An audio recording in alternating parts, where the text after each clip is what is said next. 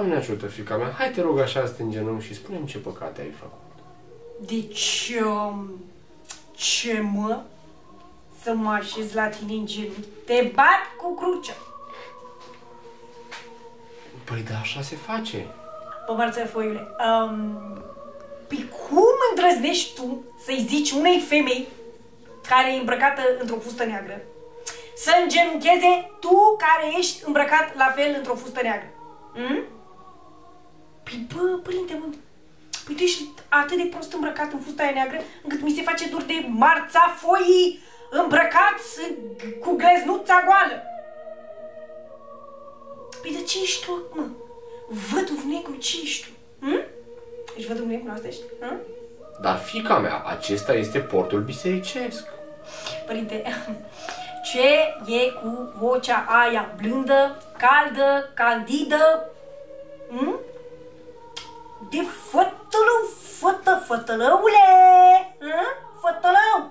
Păi fi bărbat adevărat! Bă, tu te simți persiflat în momentul ăsta? Zi, te simți sau nu persiflat? Ha? Ha? Te simți persiflat? Dăm jap! Dăm jap! Pa, jap! Te simți persiflat? Hai! Jap! Hm? Fii mă bărbat adevărat, nu fătălău, fătălău. Dăm japul! De față, de față cu toată lumea. Nu poate. Dacă eu îți spun ceva acum, că ești în școală, jap! Nu este nevoie, fica mea, ne înțelegem ca oameni.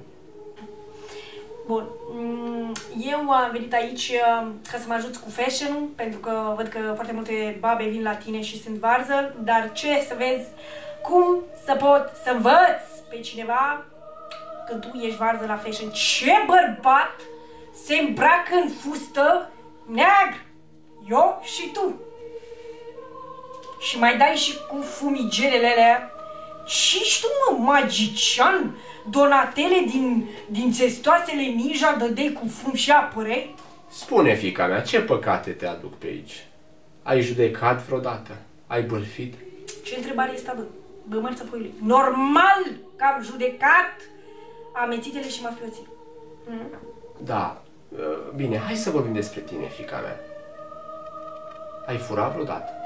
Păi normal că de nu ți-a furat idei de la alți designer că e mafioată, înțelegi? Și nici măcar ăștia îi bat cu fusul, nu și-au dat seama. Normal. Bun, și-a mai furat-o de la un bărbat. Je! Mare respect pentru el ce-am. De postit ai postit? Ce mă? Cum să ții post? Să mănânci fasole cu ciolanda, nu zice lumea. Prințesa să mănânce acea fasole, o îngurgitează, gata. Prințesa a murit. Nici nu prinde viața de înapoi. Păi bă, mafiotule, tu pentru ce vrei să postească lumea? Hm? Pentru ce? Să ai tu mormântări, nu? Hm?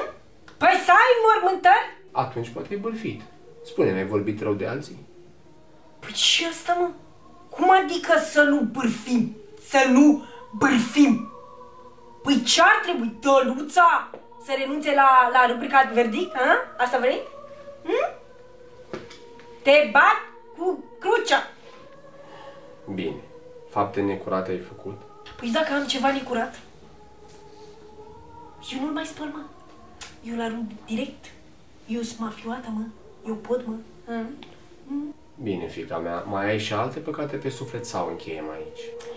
Apropo de încheiat, bă, Marta Puiule, ce mafiot adevărat se încheie la cămașă cum o faci tu. Deci, asta e tot? Dai seama că eu n-am probleme, ce drept. Bun. Atunci îmi datorez 200 de lei pentru spălat. Ce mă? Te bat cu altarul. Bă, mărțăfoile, bă. Păi cine crezi, ce femeie crezi că cea amețită crezi că îți dă 200 de lei? Când tu ai vocea aia candid și sensibilă și luminoasă. Păi, păi cine speri tu, mă? Hm? Păi, mă, fătălăure, tu știi să ai, tu ai japră, jap, ai japră la tine? Păi nici nu e Ești un fătălău! Dar nici nu e nevoie să sperii pe cineva, fica mea. Vin băbuțele, le vorbesc frumos și îmi dau banul. Cum e și cazul tău? O băbuță ușor de păcălit. Asta e mafiotul din ziua de azi. Tu crezi că merțanul de afară se întreține mergând la muncă? Păi și dacă eu nu vreau să dau bani?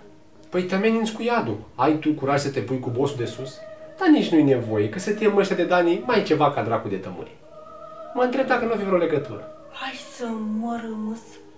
Pătiși, tu ești mafiotul mafioților. Păhăli de babe, vorbi frumos, fustă lungă, dat cu fumigene. Pătiși, nici mafioții nu mai sunt ce au fost altă dată. Nu, sunt mult mai mult de atât.